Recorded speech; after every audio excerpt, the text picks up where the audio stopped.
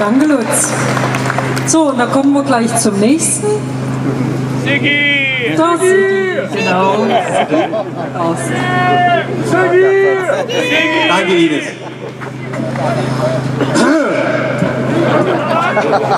Freunde, ich bin so sauer. Hallo Dresden, hallo Sachsen. Ich habe heute nur ein Thema. Ich habe mal wieder was zu einem besonderen Schätzchen zu sagen. Zu einem wahren Blitzmerker. Zu unserem Ministerpräsidenten Tillich.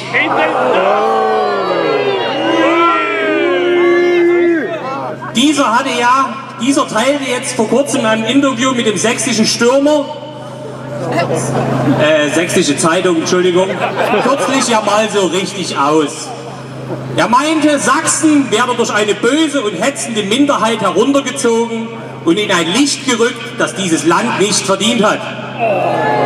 Nun, Herr Tillich, bravo! Endlich haben Sie es erkannt und es den meinungsbildenden Massenmedien mit ihrer Berichterstattung über Dresden und Sachsen mal so richtig gezeigt. Wir sind ehrlich gesagt sehr überrascht. Oh, ich bekomme gerade aufs Ohr geflüstert. Unser Ministerpräsident meinte natürlich uns, die Gegner des Politikversagens und des Staatsversagens auf der Straße. Als Gegenmaßnahme gegen uns forderte er, die Bürger sollen aktiv gegen den Nachbarn oder Kollegen vorgehen, wenn sie merken würden, wenn sie merken würden, dass der Kollege oder der Nachbar mit seinen Ansichten auf die schiefe Bahn gerät. Mit anderen Worten, Herr Tillich hätte also gern Horsch und Guck zurück. Wenn der Nachbar die Nachbarn und der Kollege die Kollegen denunziert, der Beruf des Blockwartes soll wieder eine Renaissance erleben.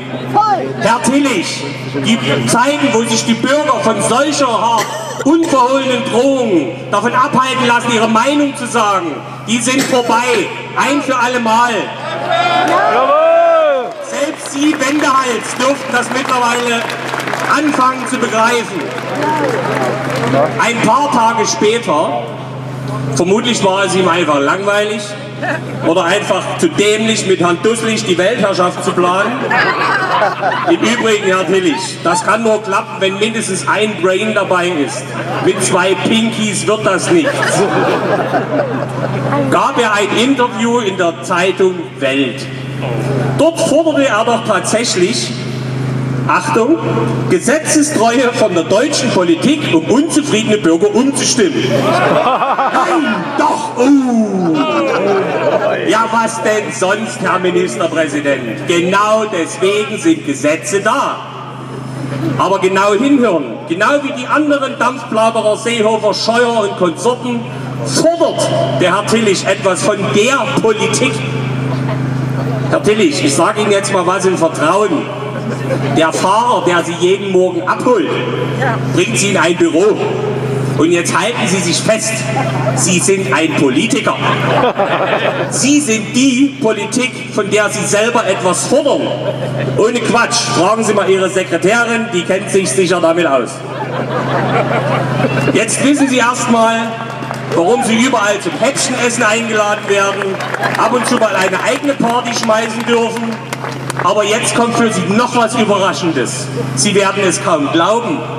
Falls Sie es irgendwie verpasst haben, es an Ihnen vorbeigegangen ist. Sie waren vom 1. November 2015 bis vor kurzem, bis zum 31. Oktober 2016, der 70. Präsident des Bundesrates. Damit begleiteten Sie genau ein Jahr lang das protokollarisch vierthöchste Staatsamt in Deutschland.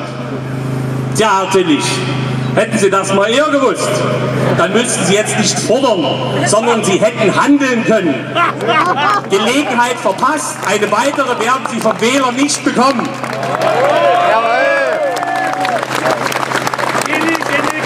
Herr Tillich, spätestens im Jahre 2019 sind Sie Geschichte.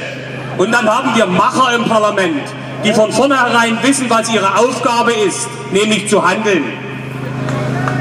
Weiter führte Herr Tillich aus, es reiche ja nicht mehr zu, dass man Politik erklärt, sondern der Bürger will, dass die beschlossenen Gesetze eingehalten und umgesetzt werden. Boah. Was für ein rechtsextremer Nazi-Populist der Herr Tillichter ist. Denn nichts anderes fordern wir auch. Er hat also jetzt bemerkt, nach 29 Jahren politischer Betätigung, im Jahre 1987 trat er in die Blockflötenpartei CDU in der DDR ein, äh, also nicht die aktuelle Blockflötenvereinigung. Er hat jetzt wirklich gemerkt, dass Gesetze umgesetzt werden sollen. Was für eine Erkenntnis. Das kannst du dir nicht ausdenken. Freunde, es kommt aber noch besser. Der Langsamdenker warnt vor einer unzufriedenen Minderheit in Deutschland, die aber größer werde. Wäre schon so groß, dass man sie nicht mehr ignorieren kann. Nicht nur in den sozialen Netzwerken seien mit dieser Gruppe Dämme gebrochen und es würden Dinge gesagt, die früher unterlassen worden wären. Jawohl, Herr Tillich, und genau so soll es sein. Freie Meinungsäußerung für freie Bürger. Jawohl! Kein Wunder. Kein Wunder, das gegen den Strich geht. Da haben die marxistisch-leninistischen Kaderschulungen in ihrer Vergangenheit ja tatsächlich einen Anker gesetzt, der bis heute hält. Aber es geht noch weiter. Der Schlaufuchs geht noch einen Schritt weiter. Als Beispiel für seine Forderung der Einhaltung der Gesetze nannte Tillich ausgerechnet die Flüchtlingspolitik. Wenn die Politik sehe, dass die Schengen-Regelung nicht funktioniere, dann müssen wir dies offen aussprechen und darüber diskutieren, wie man die Grenzen anders sichert. Er hat Grenzen sichern gesagt. Ist das OAZ schon informiert? Weiter meinte er, wenn die Griechen ihre Grenze nicht schützen, dann übernimmt Frontex und wenn Frontex mehr Personal braucht, beschließt der Europäische Rat mehr Personal zu stellen, bis schließlich der Chef der Bundespolizei sagt, er hat nicht genügend Personal dafür. Und das war's dann.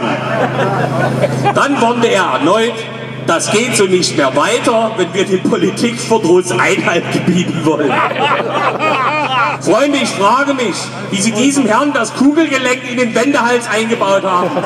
Herr Tillich, Sie sind peinlich. Sie führen jetzt schon einen Wahlkampf, der nur auf Lüge und der bewussten Täuschung der Bevölkerung ausgerichtet ist.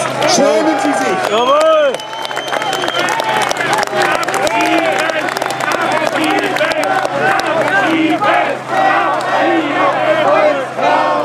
So, Volksverräter! Tillich, Volksverräter!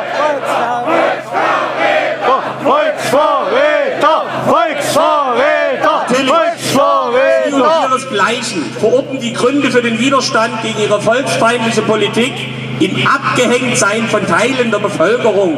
Es wird von Modernisierungsverlierern gesprochen.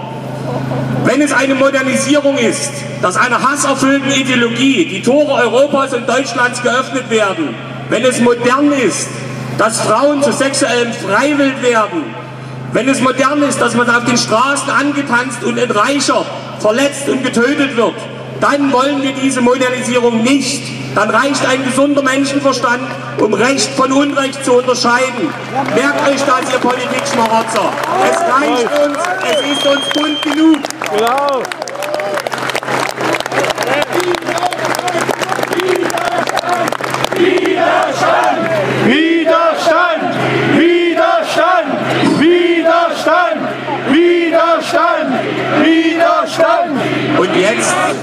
Ich nur noch ein paar wenige Worte über Erika. Bevor unsere liebe Führerin, die einzigartige Generalissima, die eine perfekte Verkörperung des Erscheinungsbildes ist, die eine Führerin haben muss, gestern ihren erneuten Amtsantritt als große Sonne der Nation verkündete, warnte sie, der lenkende Stern des 21. Jahrhunderts, vor schwierigen Zeiten, vor denen Deutschland stehe. Sie hätte auch sagen können, liebe Mitbürger, ich habe unsere Türen verscherbelt und die Fenster aus dem Rahmen geschlagen. Richten Sie sich bitte darauf ein, es könnte etwas zugig werden.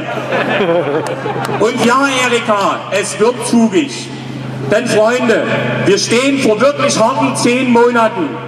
Die kommen mit Protest, Aufklärung und Wahlkampf. Wir stehen vor dem Verteilen von Millionen Stück Informationsmaterial. Vor der Mammutaufgabe, wie es Lutz schon sagte, vor allem die bisherigen Nichtwähler, die, die sich zurückgezogen haben, zu aktivieren. Jeder von uns wird gefragt sein und wir werden unser Möglichstes tun. Wir hoffen, ihr auch. Danke Dresden.